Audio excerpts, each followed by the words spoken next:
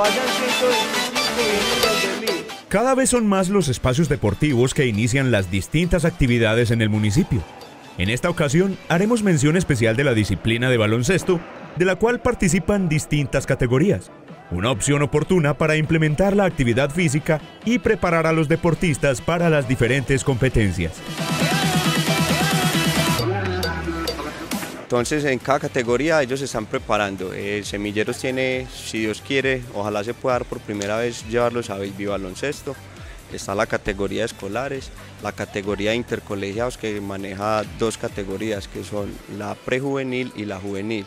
Y ya la categoría de deportes pues como tal que es los departamentales, la categoría sub-21. También se empieza a trabajar ya con un equipo de mayor. Eh, cuando digo eso quiero decir pues de la gente mayor de 21 años que hace años no juega y con ellos vamos a empezar a prepararnos para lo que es Copa Suroeste y Festival de Baloncesto. El aspecto físico en los deportes de equipo se ha convertido en un factor determinante para el éxito, y el baloncesto no es una excepción. Por eso se inicia con entrenamiento físico.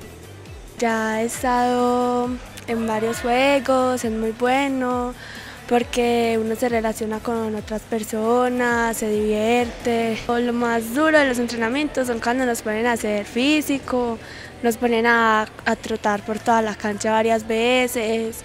Eh, lo más bueno es cuando, cuando jugamos partidos y lo que nos ayuda como más a, a mejorar también es lo físico. La invitación es para toda la comunidad que desde los 8 años en adelante pueden practicar el baloncesto. Los invitamos a acercarse a la Casa del Deporte para inscribirse y recibir los horarios.